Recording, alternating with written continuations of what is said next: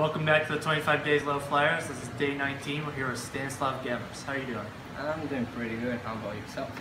Not too bad. What is Christmas like back home in Belarus?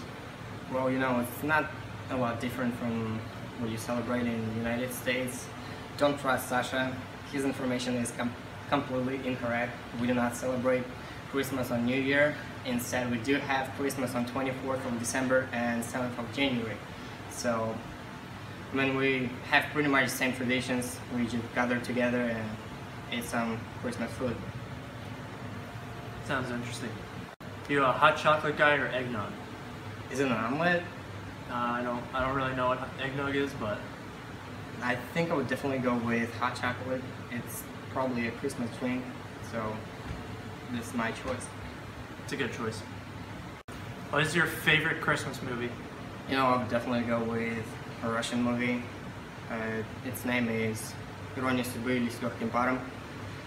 Well, it's something that most people watch in Russia and Belarus when it's Christmas time, and I like it a lot.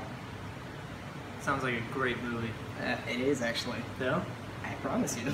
I should watch it. you should watch it in Russian. I should. What was the favorite Christmas tradition you had growing up as a kid? You know, Christmas is a wonderful time and it's a great opportunity to gather as a family. So, my usually we just go to my grandma's house and my entire family from other cities would go too. So, it's a perfect time to sit together and, and have a night meal. Well, Stan, uh, thanks for being here. That's my present. Yes, it is. All right. Anything else you'd like to say? Um, I hope my parents are gonna watch this video, so I'm gonna say hi to them and my entire family back home too. And everybody who's watching that have a nice Christmas and Happy New Year. Stay tuned for the next day of 25 Days of Low Flyers.